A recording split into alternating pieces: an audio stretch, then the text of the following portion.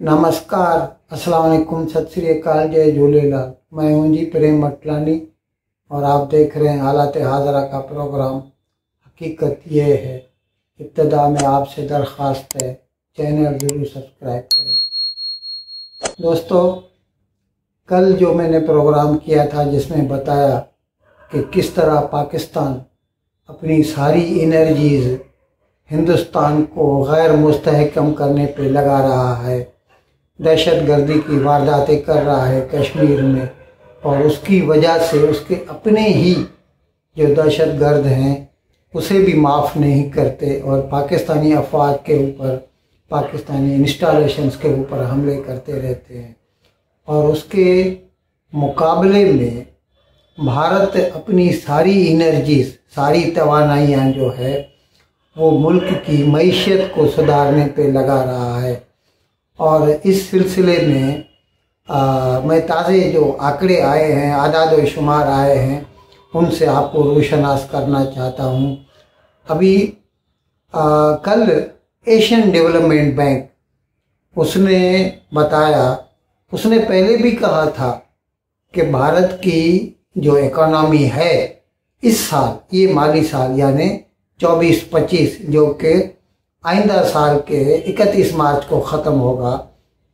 इसमें भारत की जो जीडीपी है, सात फ़ीसद के हिसाब से बढ़ेगी। कल उसने इसका फिर से इरादा किया और कहा कि भारत की इकोनॉमी सात फ़ीसद के हिसाब से ही बढ़ेगी। और दो रोज़ केवल ऐसा ही जो है ओपिनियन आईएमएफ ने भी दिया था इंटरनेशनल मॉनेटरी फंड ने भी दिया था। उसने तो पहले कहा था 6.8 परसेंट के हिसाब से भारत के मीशत बढ़ेगी। और उसने कहा था दो रोज के बिल के भारत की इकोनॉमी जो है 6.8 से बढ़कर सात फ़ीसद। अब यहाँ पर दोनों का जो राय है, दोनों की जो राय है, वो कन्वर्ज करती है, एक ही बताती है। गो के भारत की जो रिज़र्व बैंक ऑफ़ इंडिया है, यानी सेंट्रल बैंक है जो भारत का, उसका कहना ये है कि हमारी इकोनॉमी जो है, इस साल, यानी 24-25 में 7.2 परसेंट के हिसाब से बढ़ेगी।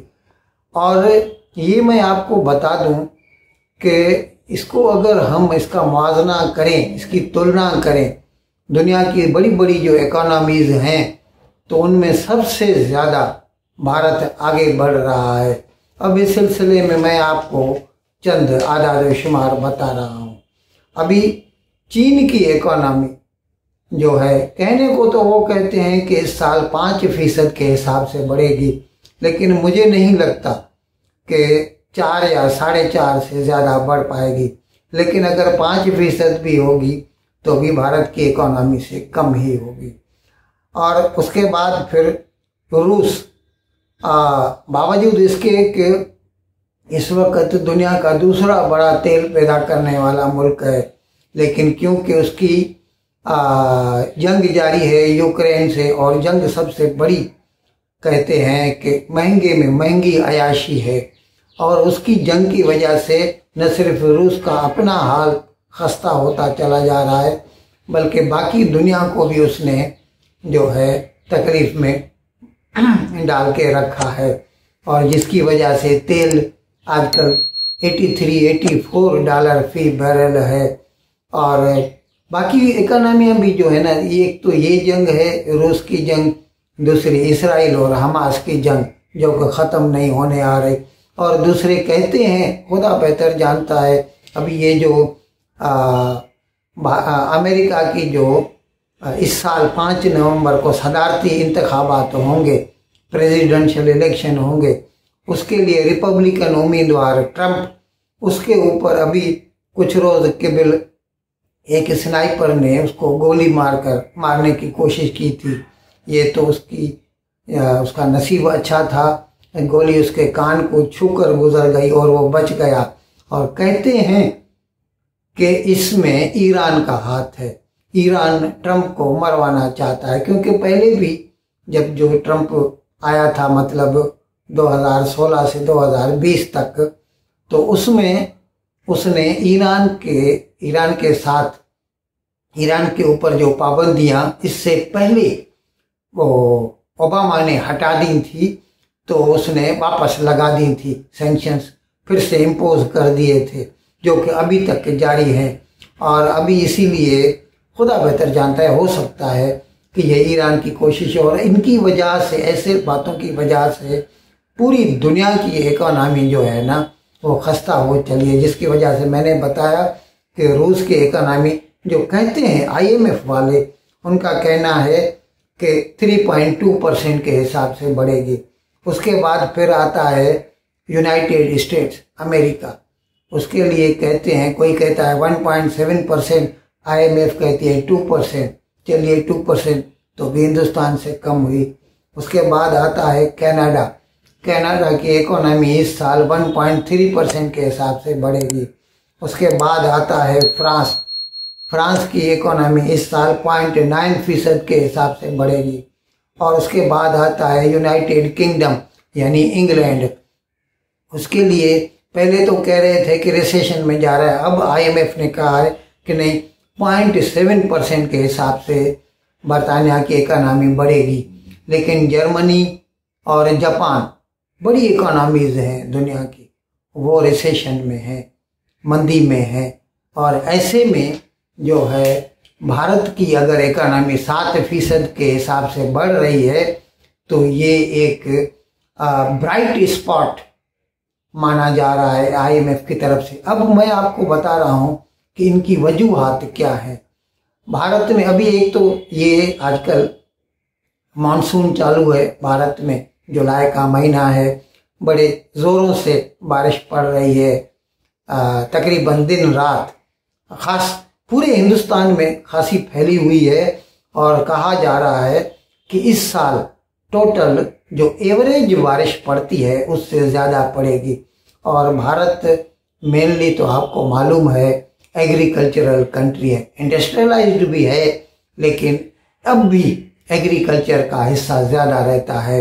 यानी भारत की सही इकोनॉमी जो है ना, वो हमारे मुफसल एरियाज़ में, हमारे गाँव में रहती है। और अगर वहाँ पर अच्छी बारिश पड़े, अच्छी फ़सलें हों तो भारत की इकोनॉमी को तो चार चाँद ही लग जाएँगे। एक ये बात। दूसरी जो है, भारत में सियासी इस्तेकाम है पॉलिटिकल स्टेबिलिटी है। आपको मालूम है कि इससे पहले भी मोदी की सरकार थी, इससे पहले भी मोदी की सरकार थी, अब भी मोदी की सरकार है। और मोदी ने ये जो अभी जून में जो इलेक्शन जीते तो उसके बाद उसने हर चीज़ जो है, वो कंटिन्यू की है। कंटिन्यूटी वाली पॉलिसीज़ रखी हैं। यानी वज़ीर ख़जाना भी वही है, वज़ीर तजारत भी वही है, वज़ीर खारजा भी वही है, वज़ीर दाखिला भी वही है। और इसकी हमारा हाईवेज मिनिस्टर भी वही नितिन गडकरी है, जिसने धूम मचा रखी है भारत में बड़े बड़े highways super highways expressways जो बनाने की। और जिसके बारे में वो कहता है कि भारत जो है, उसके रोड दो साल में अमेरिका के रोड को पीछे छोड़ जाएँगे। अब न भी छोड़ें, अगर वैसे भी हो जाए तो हमारे लिए तो बहुत बड़ी बात है। क्योंकि हिंदुस्तान चंद साल पहले तक तो बाकायदा अंडर डेवलप्ड कंट्री अभी भी डेवलप्ड तो नहीं है डेवलपिंग ही है। तरक्की पजीर मुल्क हम इसको समझ सकते हैं, जिसके बारे में नरेंद्र मोदी साहब कह चुके हैं कि इन दो में हम जो है तरक्की पजीर मुल्क, यानी डेवलप्ड कंट्री बन जाएँगे। बाकी ये तो आपको इल्म है ही कि इस वक्त भारत दुनिया की पांचवी इकानमी है, फोर ट्रिलियन है, और हमें उम्मीद है कि दो साल के अंदर अंदर इन दो हज़ार सत्ताईस तक हम चौथी बड़ी इकोनॉमी बन जाएँगे फाइव ट्रिलियन डॉलर्स इकोनॉमी इन अल्फाज के साथ आज का प्रोग्राम ख़त्म करने की मैं आपसे इजाज़त चाहता हूँ, लेकिन विदाई लेने से पहले एक मरतबा फिर आपसे मेरी दरख्वास्त है कि जिस किसी साहब या साहबा ने अब तक हमारे इस चैनल को सब्सक्राइब नहीं किया अजराह करम इसको जल्द से जल्द सब्सक्राइब करें प्रोग्राम को लाइक करें शेयर करें और घंटी का बटन दबाना ना भूलें। बहुत बहुत शुक्रिया। खुदा हाफिज़।